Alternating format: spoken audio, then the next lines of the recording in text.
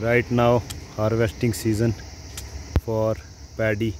The farmers are busy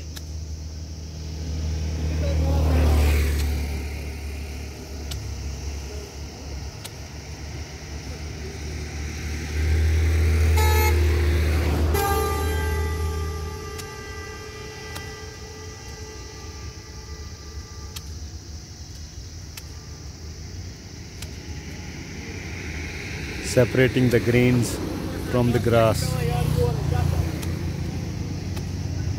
and making heap